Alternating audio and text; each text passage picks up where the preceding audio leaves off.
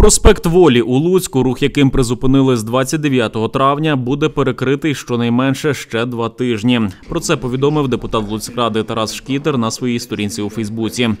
До мене, як до депутата, вже було чимало дзвінків і звернень з цього приводу. Тож сьогодні, під час засідання сесії Луцькради, поцікавився, коли планують відкрити проспект Волі. Отож, за словами підрядника, зараз працюють над підйомом зливових решіток та укладанням верхнього шару асфальту. Обіцяють впоратися з роботами за 2-3 тижні. Тож орієнтовно у середині червня рух головною вулицею міста відновлять, написав депутат.